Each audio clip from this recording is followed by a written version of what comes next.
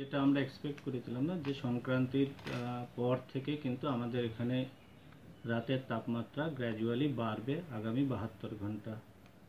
দক্ষিণবঙ্গের ক্ষেত্রে আগামী বাহাত্তর ঘন্টায় বৃষ্টির কোনো রকম কোনো সম্ভাবনা নেই।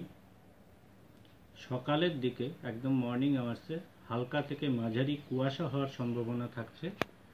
প্রচুর ময়েশ্চার আমাদের এখানে ঢুকছে।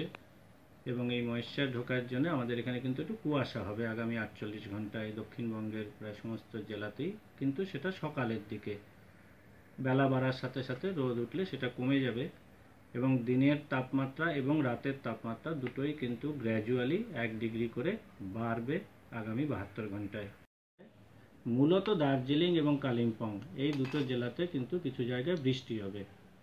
এবং থার্ড ডে মানে বাহাত্তর ঘন্টায় যদি আমরা দেখি উত্তরবঙ্গের প্রায় সমস্ত জেলাতে ইনক্লুডিং সিকিম অলসো সেখানে কিন্তু বেশ কিছু জায়গায় বৃষ্টির সম্ভাবনা থাকছে। মূলত পশ্চিমী ঝঞ্ঝা যেটা ক্রস করবে সেই সময় আমাদের ওই উত্তরবঙ্গের ওপর দিয়ে।